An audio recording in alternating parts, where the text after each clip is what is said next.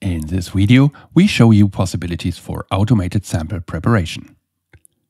This is an excerpt of an online seminar from January 2023.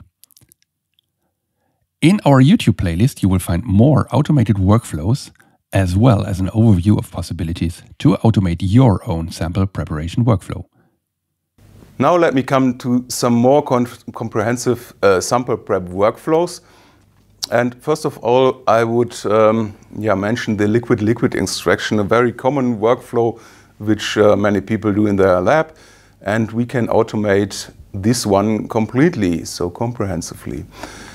First of all, of course, we need to add an extraction solvent to the sample or maybe also an internal standard.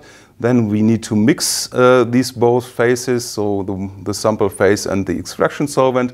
This can be done in some kind of um, vortex-like shaker, uh, the so-called quick mix, or you could also use an ultrasonic bath for, for that. Then you have two mixed phases. They will slowly separate, but of course it's more quickly when you use a centrifuge. So finally you end up with an extract phase and uh, the sample phase underneath. Normally the extract phase is not suitable for direct injection. Maybe it needs to be concentrated or maybe um, derivatization needs to be done. So oftentimes you need to evaporate this extract phase uh, to dryness or you need to at least to reduce it.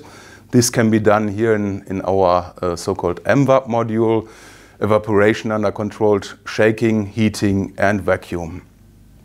Then you can reconstitute your extract and um, either derivatize or inject uh, to LC or GC instruments. Follow the link to watch the whole online seminar.